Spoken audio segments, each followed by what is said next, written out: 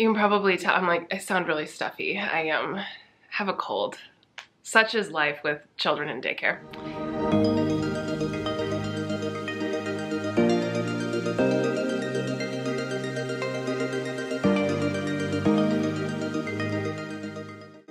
So this past weekend was my pop-up in the Anthropologie store in our downtown area here in Milwaukee.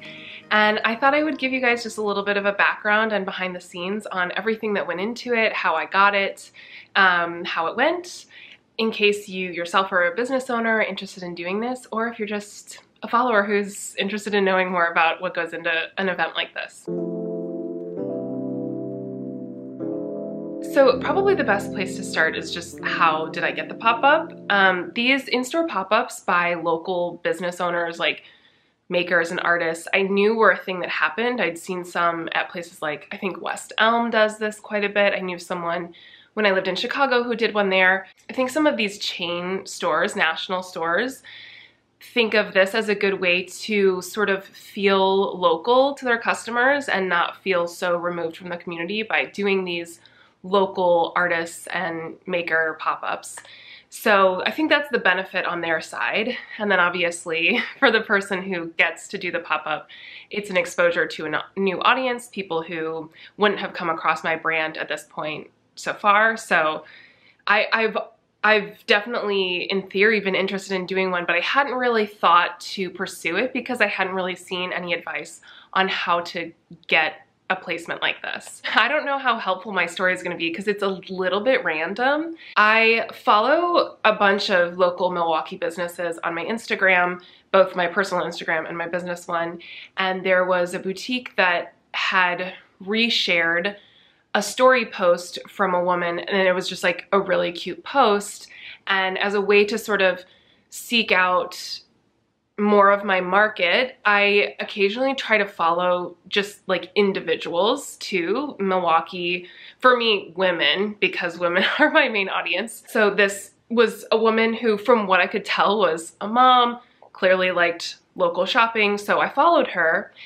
And it turns out she actually works for the Anthropologie in the third ward in, here in Milwaukee. I, again, total coincidence, like I was not trying to reach out to her. I was just trying to follow more people that I think would be my audience, my market, that sort of thing.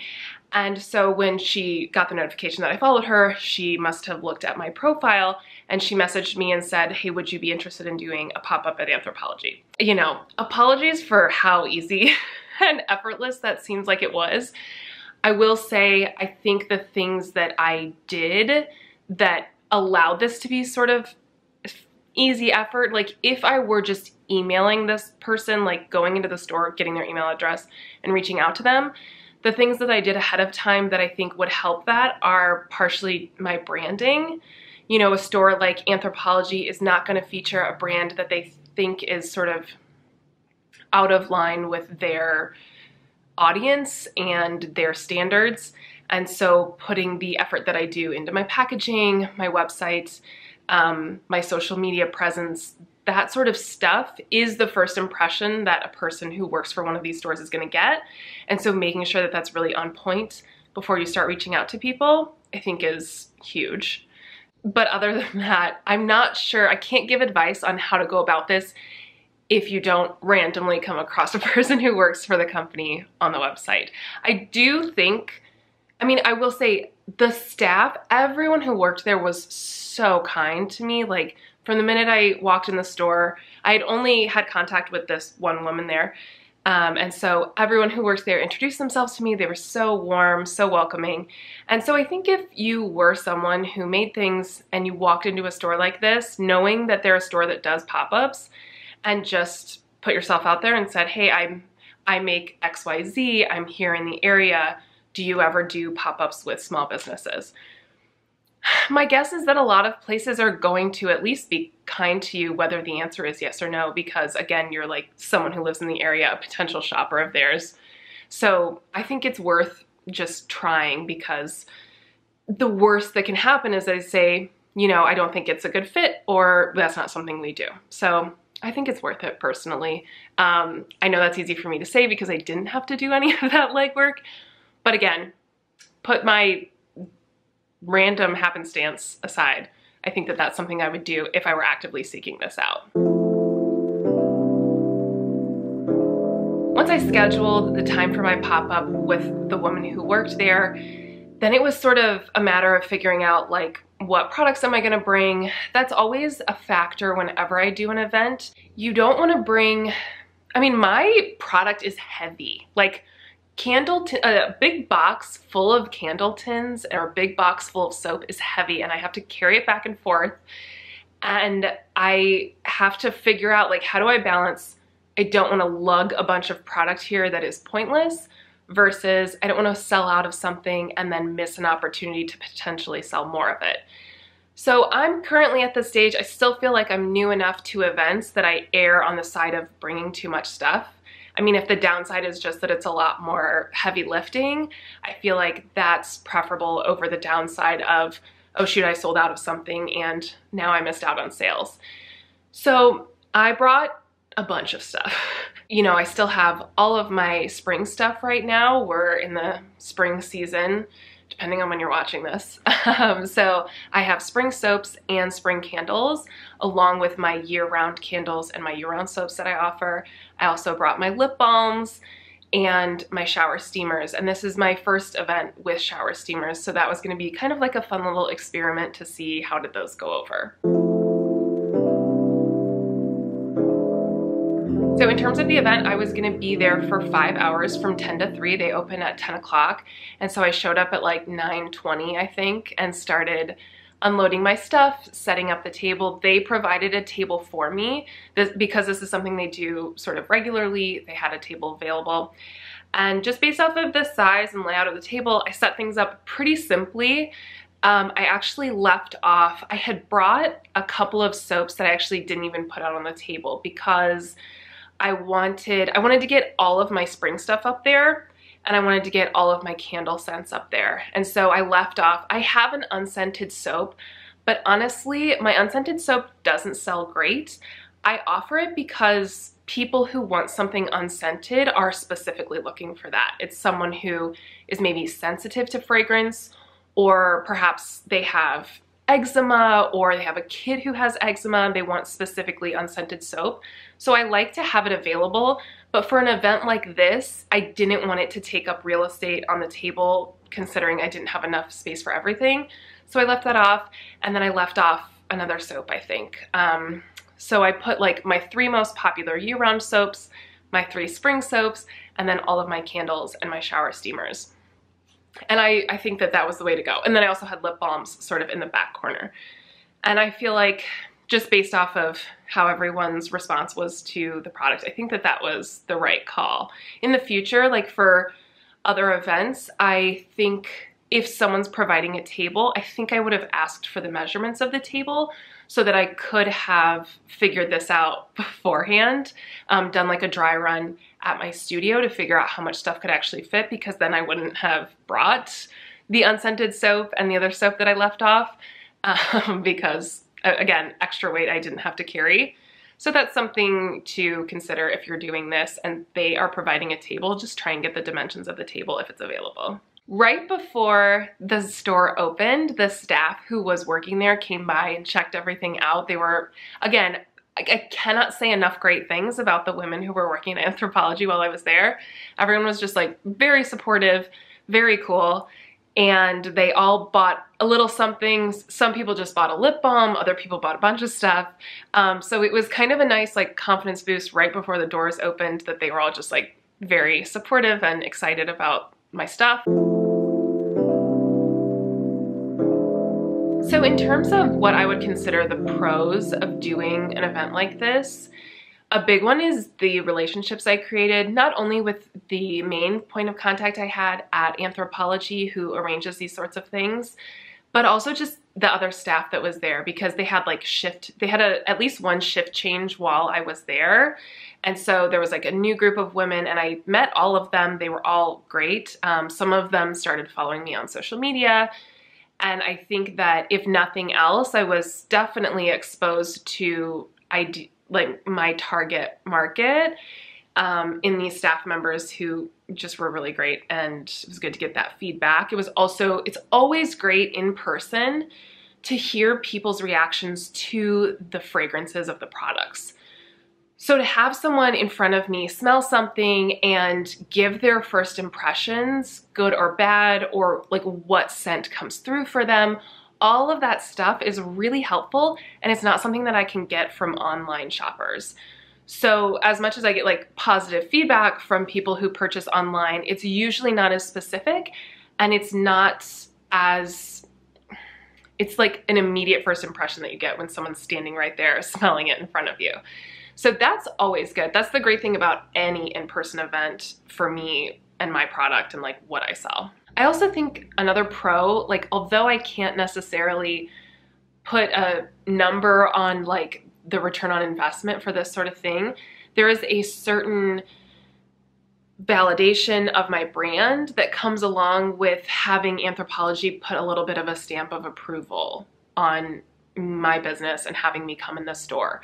So from here on out, I can say that I've worked with Anthropologie as a brand. And I think that, again, like I can't put a number, a dollar, dollar amount on like what that does for my business, but I do think that not only for my own confidence, but also for any like future stores I might reach out to, I can say like, I've done this at Anthropologie. It's like a gigantic respected brand in the retail space.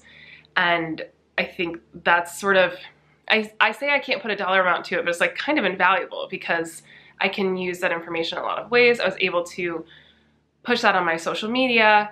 Um, and again, like just all, I now I now always have that as something that um, what do they put, what do they call like a like a feather in my cap or something?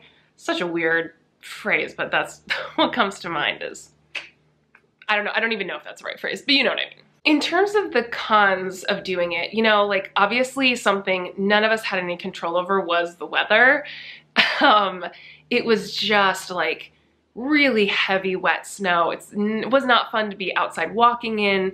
Um, and it's because this is, it wasn't like a Anthropologie that's in a mall. It's a Anthropologie that you come off the street. I think, and the, the staff like kept apologizing for how low the turnout, like just the traffic was, but obviously not their fault at all, not anybody's fault. Just like one of those freaky things about um, the Midwest and spring and we always get snow in April and unfortunately this was the day we got snow. That's always a risk with any um, outdoor event as well. You know, I have an event coming up next month that is entirely outdoors and it's early May and it could be pouring rain on the day of the event. And there's no, you know, there's no rain check. Like you still have to show up and do the event and possibly no one comes. So it's that it's always tough because it's something you can't plan for. Um, but I also think just like keeping the perspective of, you know, well, I, you know, there's nothing I can do about it. So having, I think it's nice to have a balance of uh, events that are not affected by the weather and events that might be because on the flip side, if it's a gorgeous day on that day in May when I have the event, it ramps up attendance for sure because people love to go find something outside to do, especially here in the Midwest where we've been inside for the last like six months. So, you know, it can go either way. It can work for you. It can work against you. Unfortunately, in this situation, it worked against me. Another downside, I think, of this specific kind of event is when you do something like a craft fair, a farmer's market, a maker's market, one of those kinds of events where it is like people show up for row after row of small businesses who make things, that's what they're looking for. It's the exact vibe that people are expecting. They want to come up to your table, they want to ask you things, and they want to buy specifically these kinds of products. When you're going into a store that is a very established brand like Anthropologie, West Elm, I think Madewell does these as well. People come into that store because they're looking for the Anthropologie experience. They're not necessarily coming in to talk to a stranger at a table that they don't really, it's like people are out of practice of that kind of interaction in a store like Anthropologie. They're used to like the very expected kind of experience. And I'm also not someone who's super outgoing. Like I'm not, that's not my strong suit in terms of sales. Like I'm not super salesy in that way. I'm not gonna call out to people to come over to me if they don't show interest on their own. Again, maybe something I need to work on, but for this instance, I think it's just something good to keep in mind that in terms of like what my sales expectations were, I set my goal a little bit lower than I think I would have for an event like the one I'm doing next month, which is specifically like rows and rows of tents of people selling things. Because it's it's just a different expectation from the shopper. And you have to factor that in when you're deciding like what does success look like from this specific event. I, it was also clear that some people thought I was just an Anthropologie employee which um, is kind of funny. I mean, I guess I understand why they might think that, but like people at some older couple came in with a dog and they were like, are dogs okay? And it's like, I don't know. I don't make the rules here. I don't work for the store. Um, but I said yes anyway because I don't know. I probably shouldn't have done that. But I had seen other dogs in the store. I think it's fine. Anyway, they brought their dog in. I said it was okay. I hope that it was like I said, it's people just aren't as familiar with this setup and dynamic. So their their willingness to like approach me and talk about my product and buy from me is just different than someone who's coming to an event specifically for my type of business.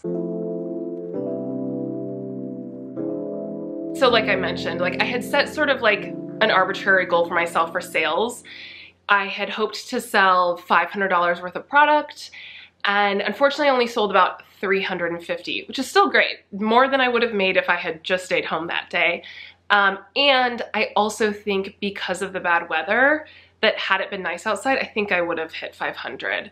So I'm just trying to like manage my expectations, not focus on not hitting goal and instead focus on how much I made not having good weather on my side.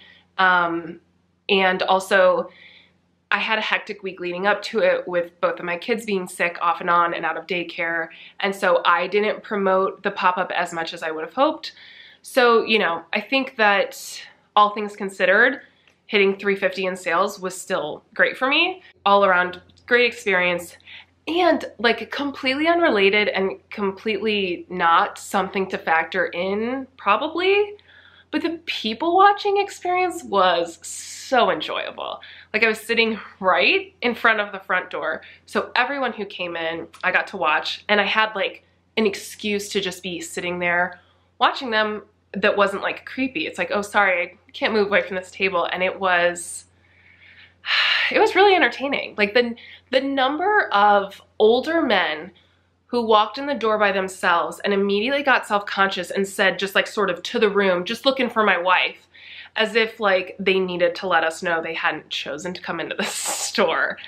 I, it just made me laugh every time. Like uh, that kind of stuff. It, it was what kept me entertained when it was slow uh, because I love that kind of stuff. I love just watching people going about their day and trying not to be self-conscious about it. So I'm gonna add that to the pro list. It's not official. It's not something I would necessarily tell you to factor in, but I did, I do consider it a pro. So that was pretty much the experience in a nutshell. If you have any other questions for me, feel free to comment below. I have more events coming up this summer, so I'm hoping to be able to take you all on a little behind the scenes of each of those. So be sure to subscribe if you're not already. And if you enjoyed this video, it would help me so much if you liked it so I can reach other people just like you